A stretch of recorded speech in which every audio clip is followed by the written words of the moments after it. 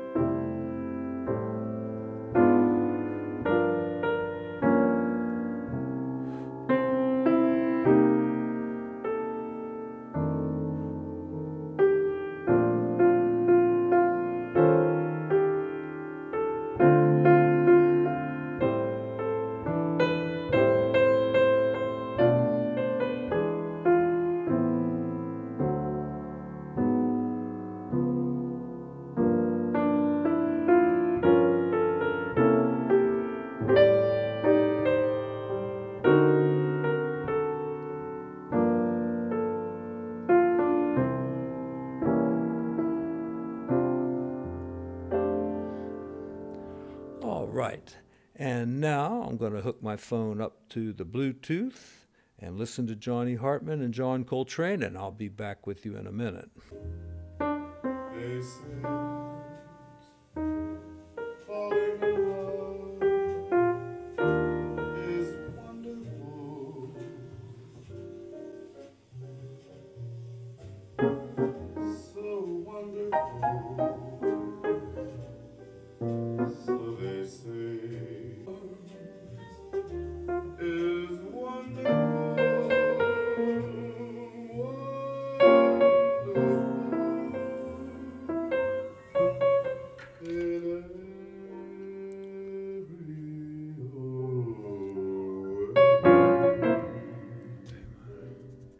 So, yeah, McCoy Tyner, um, great piano player.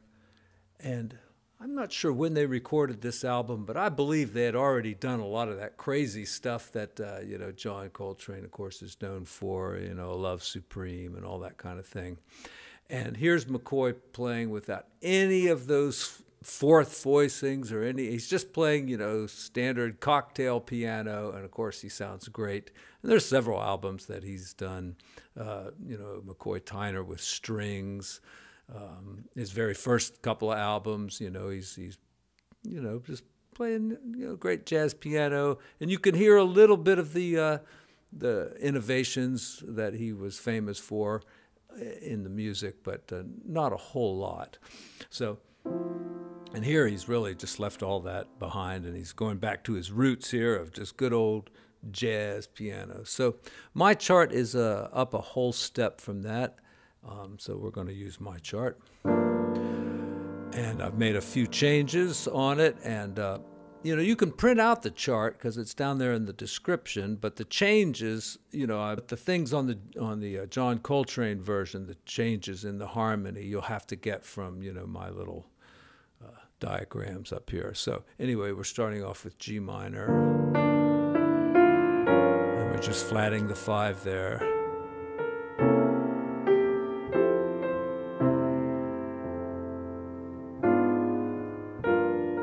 And I should talk a little bit about the A minor, the A flat. You know, this is a chord progression I've been going over many, many times here recently.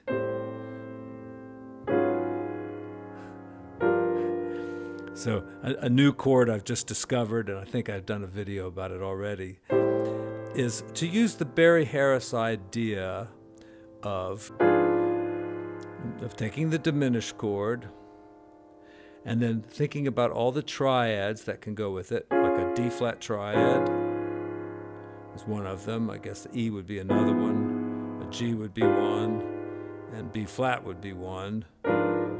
Doesn't work too well in this case. Um, So you could take those triads, and I'm going to take the D flat one right here, and then go to G minor. But my left hand, I'm going to do something wrong. I'm going to play the seventh instead of the sixth. So it's no longer really a diminished chord, but check it out. It's a legal chord. It's a, like an A flat minor seventh. There's A flat minor, minor seventh, with an 11 and a 13 stuck in a kind of a weird place here. But how did I come up with this chord? I could have come up with it just using, you know, the idea of Berklee College of Music chord formulas and played a minor seventh chord here, reharmonizing it to A flat minor seventh. All right, there it is. Adding the 11th, adding the 13, doubling the root. But that's not how I came up with the chord. I came up with it by thinking about Barry Harris's uh, conception of the, the four triads that go with any diminished chord. All right. Those triads, and you can take each one of those triads and make it a seventh chord or make it a sixth chord because all those notes are going to work.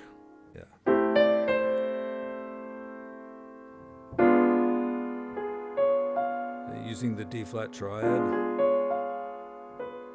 Of course, you can add the seventh, but you could add the sixth too.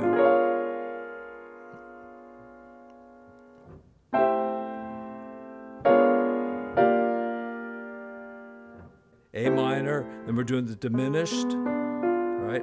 But we're adding the the triad and the sixth. Right?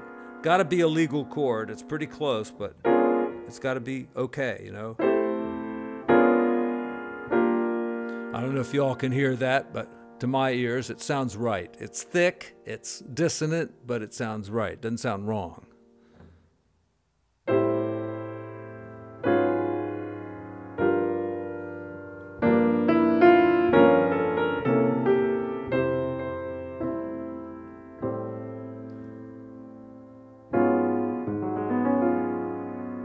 There it is as a different inversion.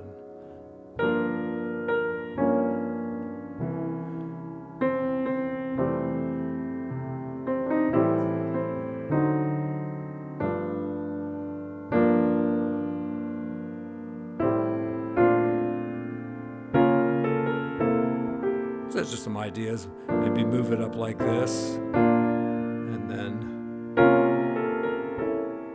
keep the C on the bottom and do the do the chord up on top there so you have a pedal tone.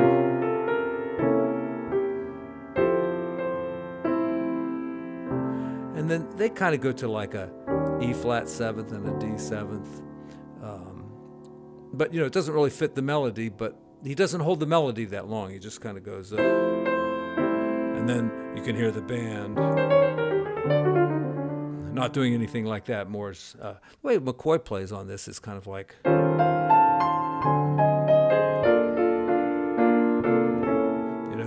He's using lots of inversions of the chord, lots of thirds and things like that.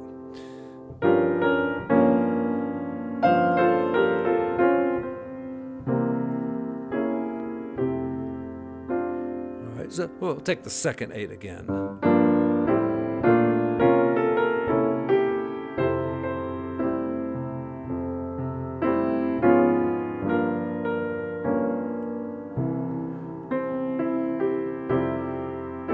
So instead of the C minor, just F major. And then change it to F7.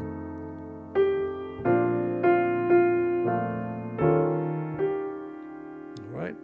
Anytime, you, whatever key you're in, if you go to the two chord or to the flat seventh chord, it's almost always, you know, uh, what they call an unaltered dominant but it is kind of a little bit altered. Use the uh, use this trick. Put a triad a step above, and you'll get the, a, a good harmony there. Especially like on the flat seventh chord, the step above is the key of the song, so it's going to sound good.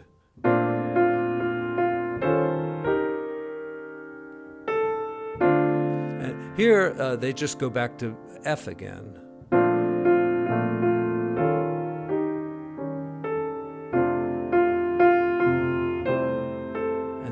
kind of a quick change here. A two five one there, so it's B minor 7 flat 5 to E, and then.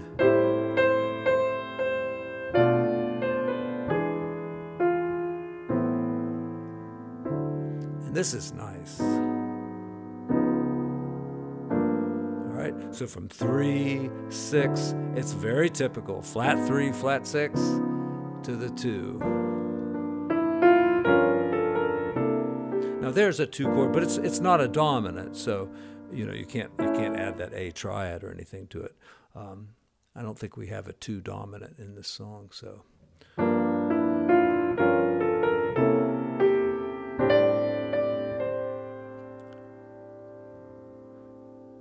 And they just have F. And maybe an E flat here.